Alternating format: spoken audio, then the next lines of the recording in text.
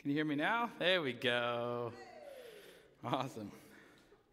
Thank you, band. Uh, we're going to be singing a lot about the way um, and all that the next couple weeks because for the next three weeks, we're going to be talking through a series on the gospel of Jesus called This is the Way.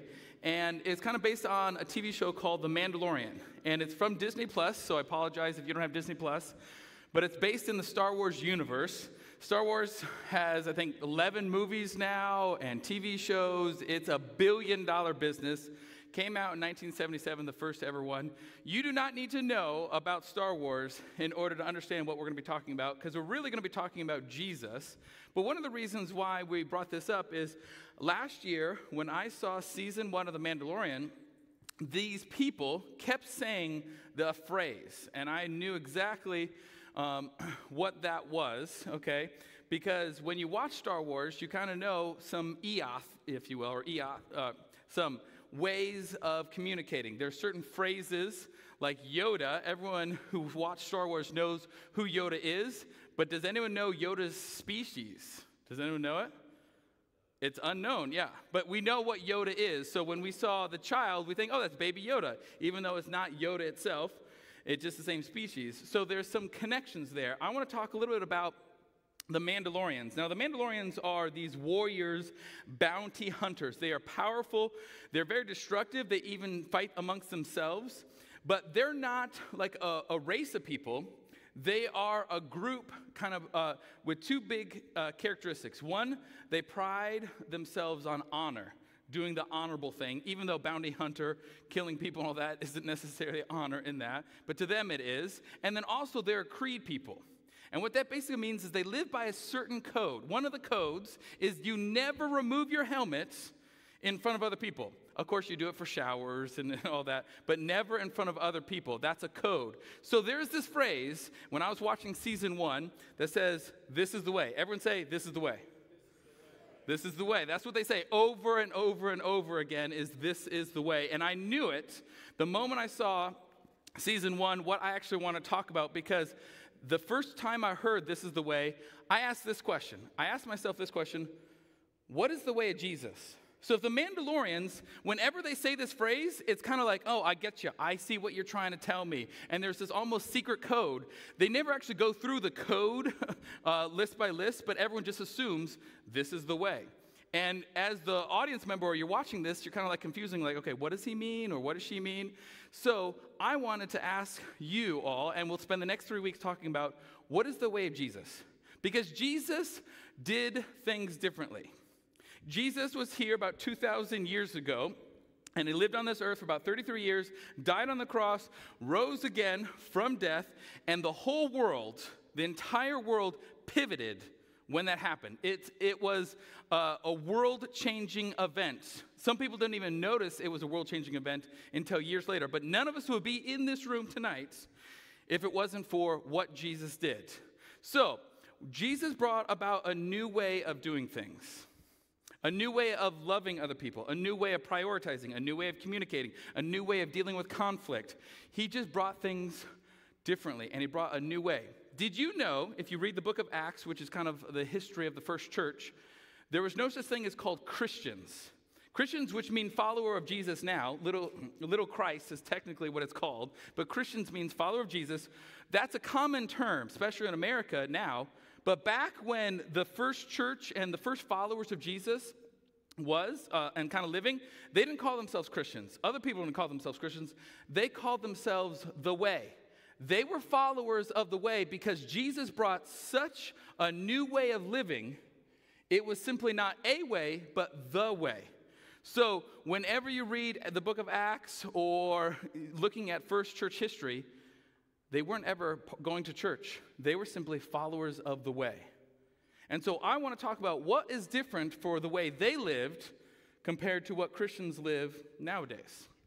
So, um, what you need to know is the very first Christians, uh, followers of Jesus, and for the next 100 to 200 years, followers of the way, what we now call Christians, were persecuted. And they, Christians, would be thrown into the gladiator events and be eaten by lions as a pre show to the gladiator games. It's actually in Roman history that if you're a Christian, if you're followers of the way, you'd be persecuted, you, you get captured, you get thrown in, and you're eaten by lions as a warm up show to the gladiator games.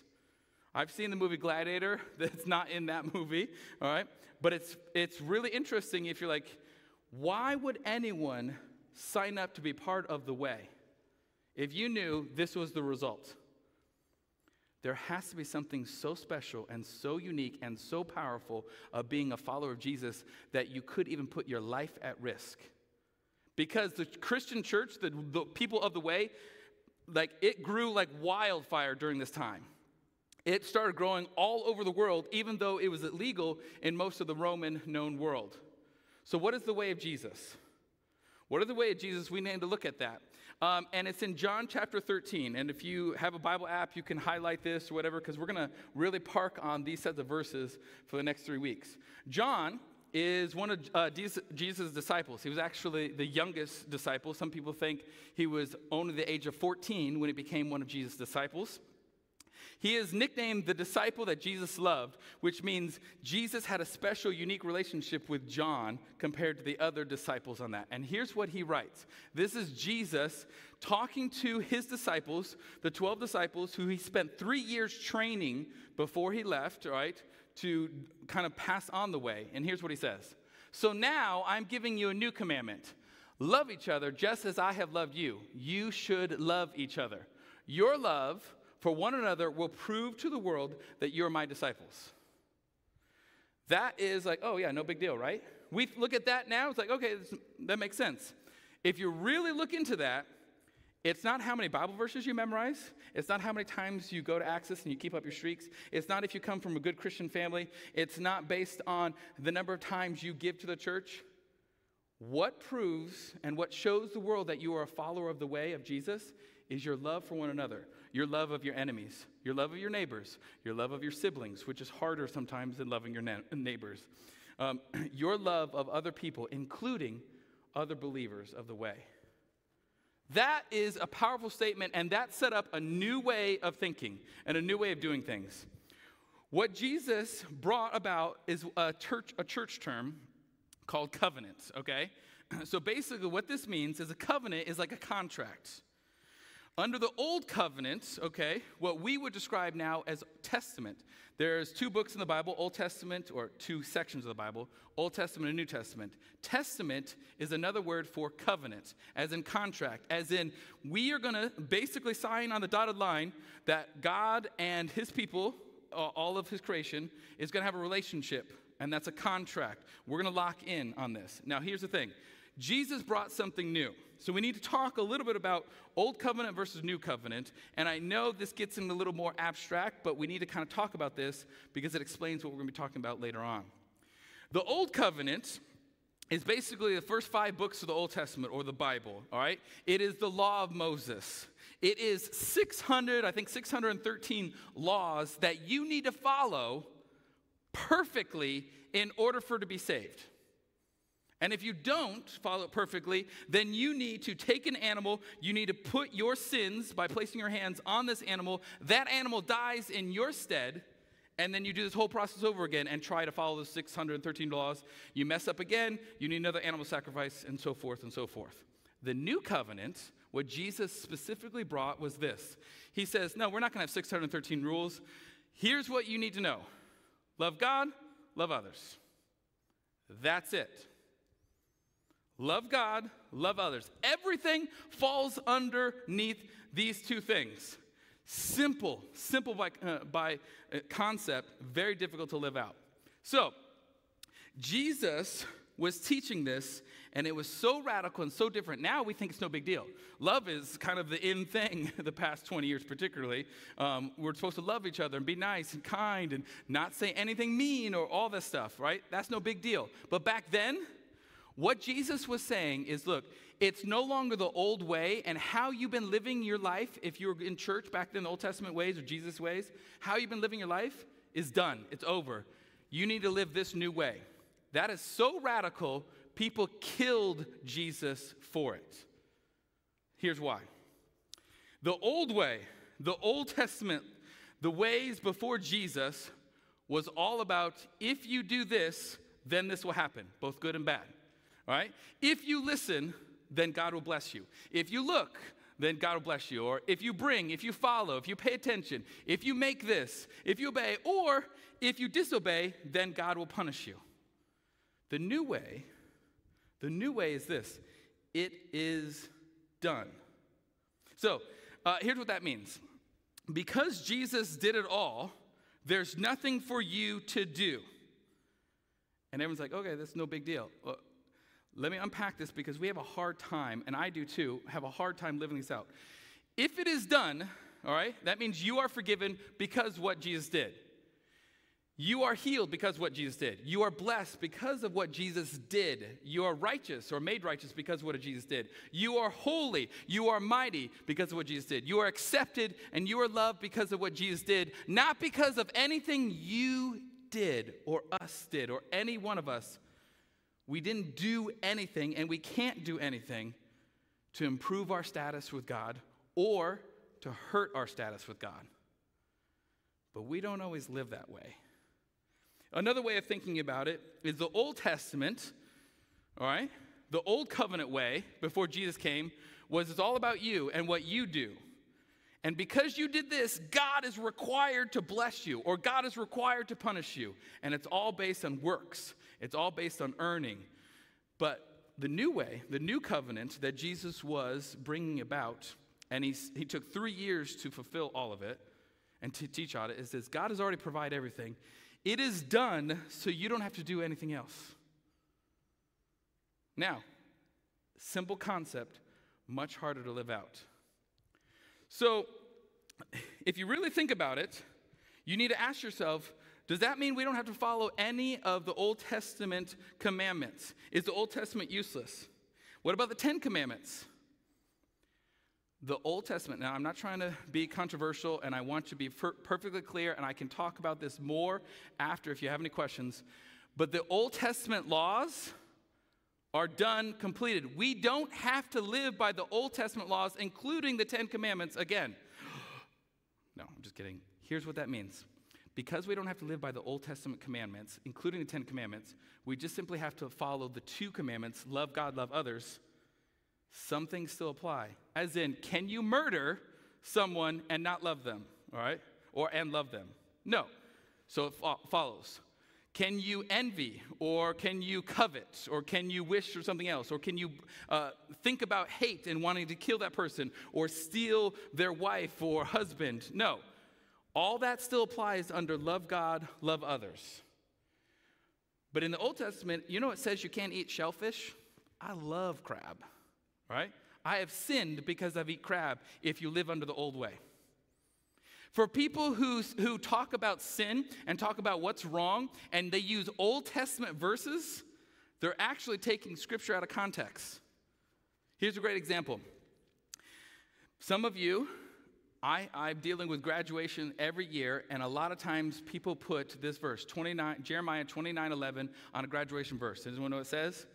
It says, For I, I know the plans I have for you, plans to prosper you and not to forsake you. This, those kind of verses.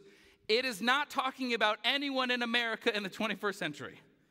It's talking about a Jewish person or a people group of Jews 4,000 years ago and trying to put the, the Old Testament into modern day application doesn't really work. Now, does that mean we ignore the Old Testament? Absolutely not. It's a historical document.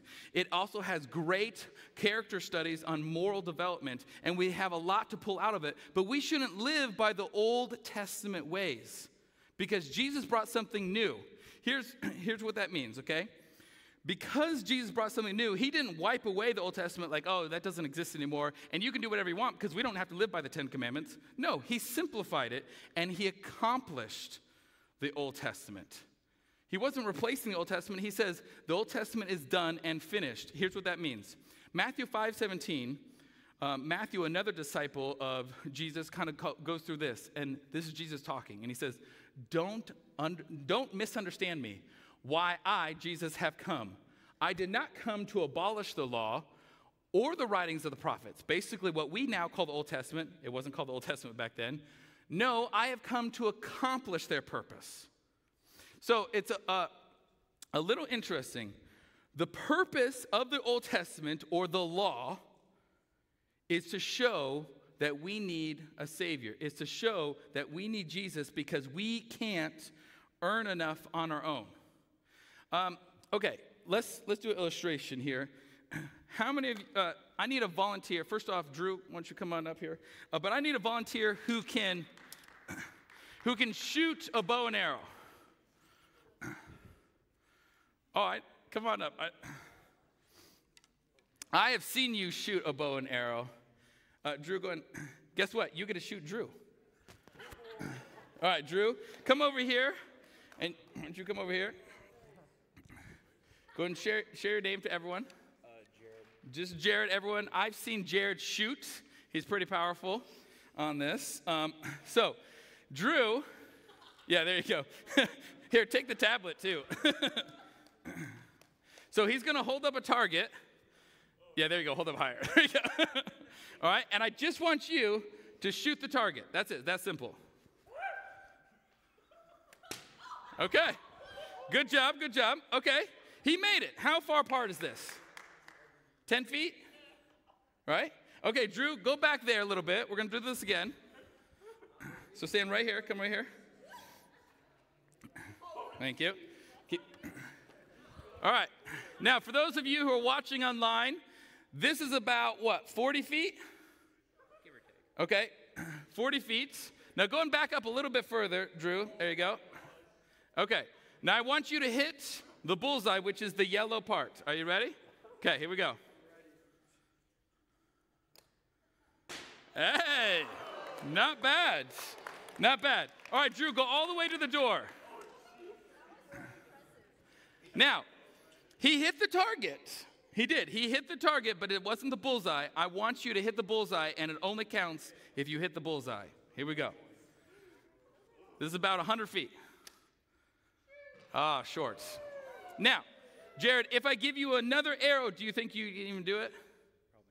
Why not? Because it's too far. He says it's too far. All right, let's give Jared and Drew a hand. Good job. You can have a seat. So, this is a simple, simple illustration, and here's what that means. The definition of sin, all right, is not a mistake, is not doing something wrong. It's actually an archery term. It means to miss the mark. Jared's mark was the yellow bullseye. Even though he hit the target, thank you, even though he hit the target, he still missed the bullseye. When it's talking about sin and what separates us from God, because God is perfect and he doesn't allow anyone into heaven who's not perfect, we have a problem because it's like we're shooting a bow and arrow from someone in Colorado who's holding a target. It's impossible to hit the target let alone hit the bullseye. And what this means, all right, is sin is separating us, and we cannot do anything, no matter how hard we work, no, matter how many times we try to make it into heaven, because that's not how this works. God didn't design it to where we can earn our own salvation. He designed it to where the gospel is, where God has taken care of it, and Jesus becomes the archer, the bow, the arrow, and even the target, and it hits perfectly every time. And because of what Jesus did on the cross by taking the sin, our sin, instead of us, we are made right and can be in heaven. And that's not fair because Jesus took all the punishment, Jesus did all the work, and yet we get all the glory and all the benefits. That's how much that Jesus was talking about when he says love. So, the gospel, it's really cool. We hear the gospel and we hear good news, right? Do you know the gospel is comes from another Greek word? This is a special Greek word. Anyone can say it out loud? What? Euangelion. I have a hard time saying it. It's Greek. Here's what that means. It means the gospel or good news. So whenever you hear the gospel or read the gospel in your in your English translation of your Bible, it's usually this word. This is a really cool word. I just found this out just a, a few moments ago, like not literally moments ago, probably about a year ago. Here's what this means, okay? It means this, all right? That it is the runner who runs to the king and tells the king that there's victory on the battlefield. And then the king celebrates, everyone's excited, and all that. So it is the runner who tells someone, the king, that there's victory. Did the king do anything in the battlefield? No. Jesus did all the hard work and he claimed the victory. He did all the work over here. And the gospel is us telling other people or telling our friends, our neighbors, our family that Jesus won and we are here to celebrate. It is nothing that the runner or the king has done. Now, if the law or the Old Testament or the Old Covenant is about obedience and do, do, do, the New Testament is about done or being the gospel. And we're going to unpack this the next three weeks. It's about having a relationship with Jesus. Here's the thing, and I'm not trying to judge anyone, and I'm not saying you're a bad person if you have a cross necklace or anything like that. But too many times Christians celebrate the cross, which is only an instrument of death, and they forget about what really happened with Jesus, who got off the cross and, and literally defeated death. Too many times we focus on the death part when anyone could die for their friends, but only one person came back from life, which is Jesus Christ. And that changes everything. So, here's the danger, and here's what we're going to finish up with today. The danger is when we start having old covenant thinking and new covenant thinking. And we don't even realize this, okay? Here's what this means, okay? It means we kind of do a buffet style faith. I'm up here a buffet, okay? Now, if you've ever gone to a buffet, I love buffets, so COVID has really hit me hard.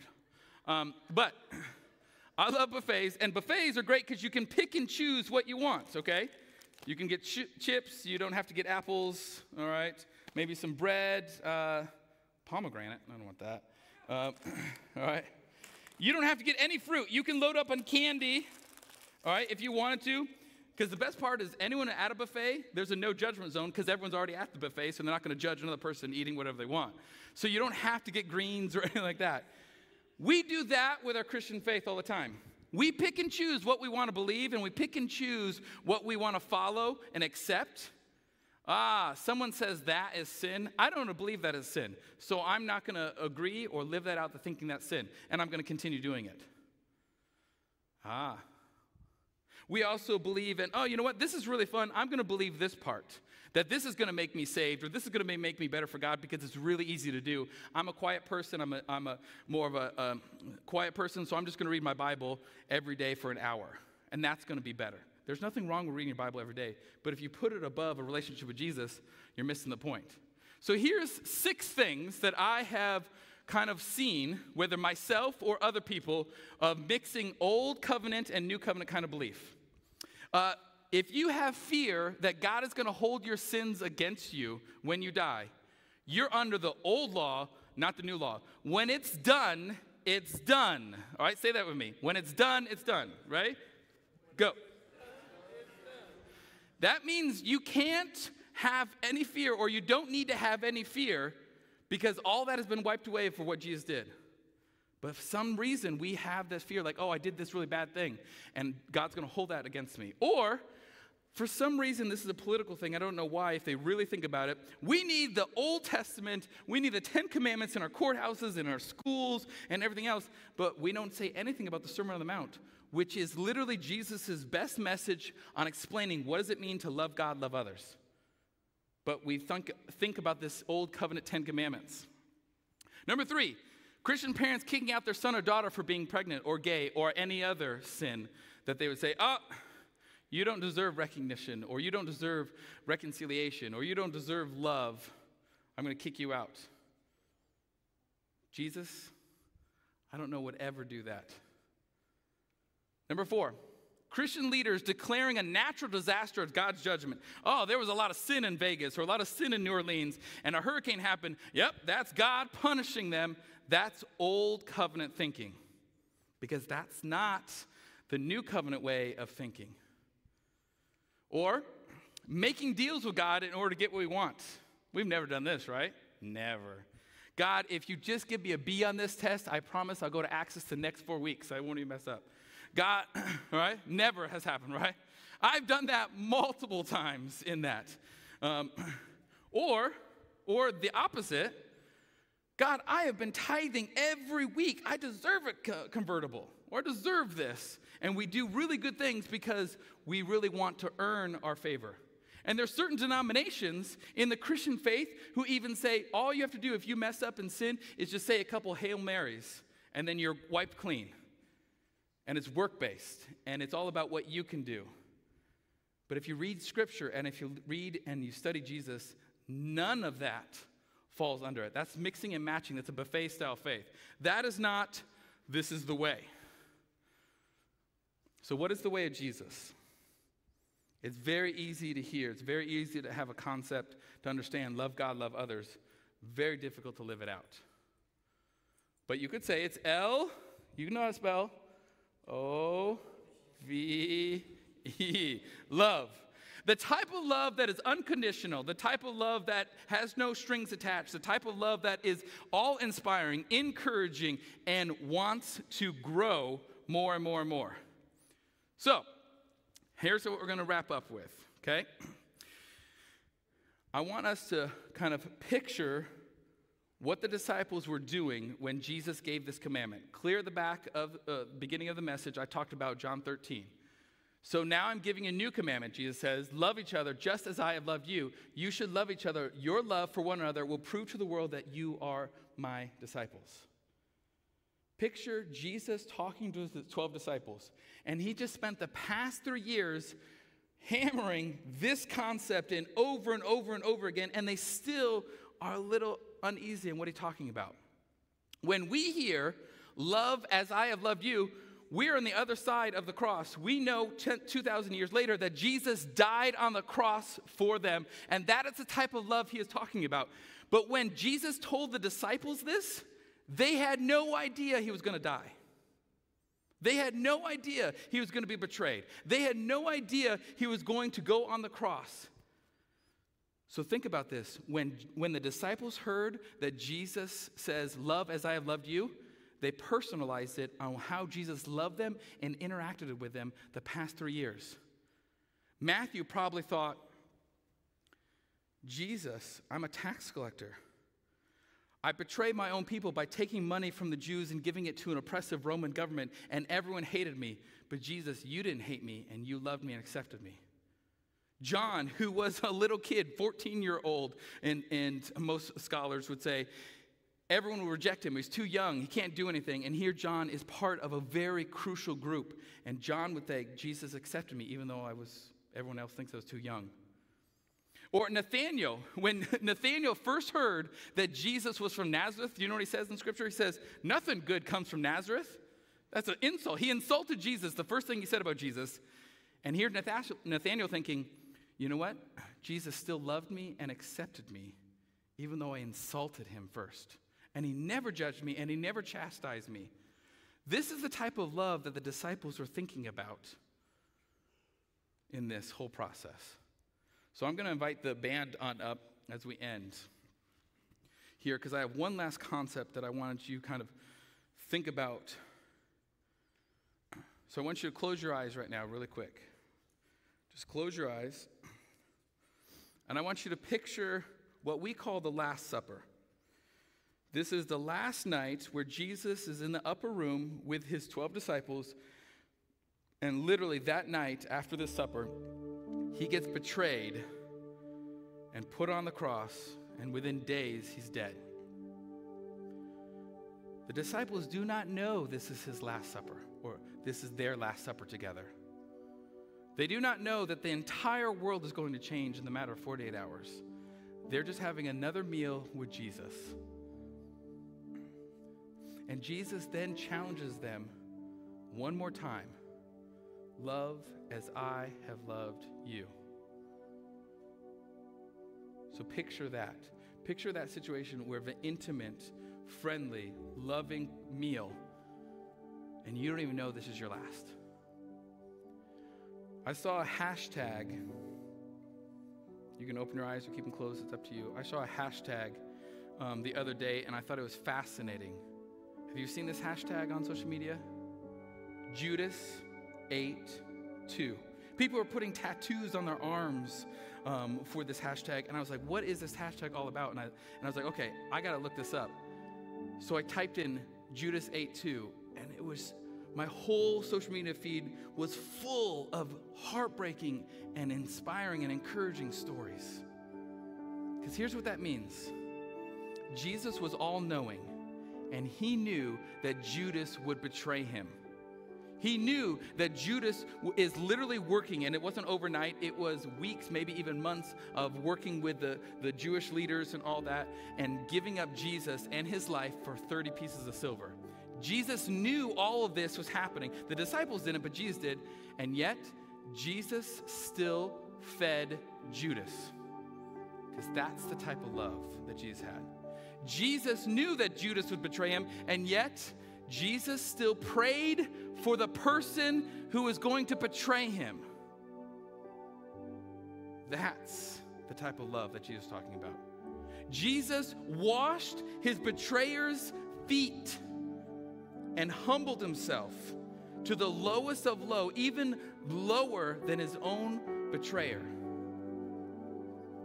So when you hear or see the hashtag Judas82, this is a perfect example of the type of love, the type of love that Jesus is trying to say and trying to live out and trying to encourage. Because here's the thing we are all Judas.